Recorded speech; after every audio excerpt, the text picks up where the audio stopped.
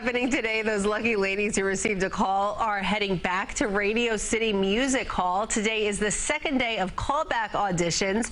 It might not be on your mind now, but they are gearing up for this year's Christmas Spectacular. On Thursday, hundreds of potential Rockettes stood in a long line for a chance to show off their high kicks. Dancers must be at least 18 years old and between the heights of 5'5 and 5'10 and a half in order to be considered. Good luck to all of them. Hey, some people like Christmas time early, so it, may, it may not be on your mind, but maybe some people are getting But it's ready. on theirs, that's for sure. Yep.